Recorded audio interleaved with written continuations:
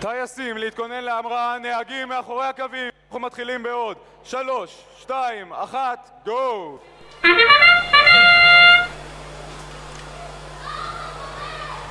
ערד, משאירים.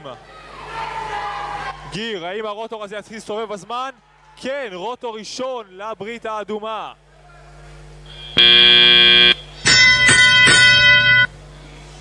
פלקונס כבר מניחים את הגיר במקום הנכון.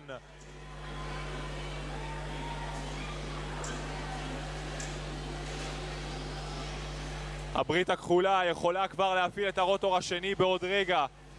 הברית האדומה כבר עם שני רוטורים מסתובבים. המוסד יוצאים ביחד עם ארד מהפידר האדום לעבר ספינת האוויר שלהם.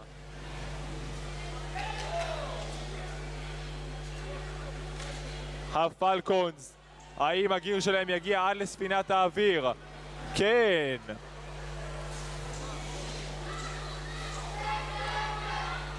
ארד מתכווננים על הפידר.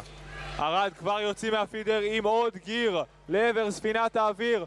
גלילאו בצד הכחול משאירים עוד גיר אחד חסר לברית הכחולה בשביל לסגור רוטור שלישי.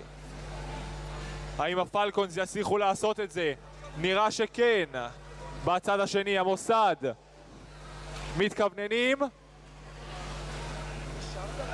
זה נראה קרוב, זה נראה טוב, המוסד, כן, הגיר של המוסד מגיע למעלה, חסר לצד האדום עוד גיר אחד בשביל להפעיל את הרוטור השלישי.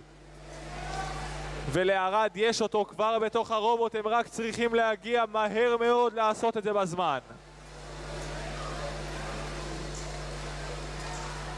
סשן של קליעות בצד הכחול, הפלקונס וגרין בליץ.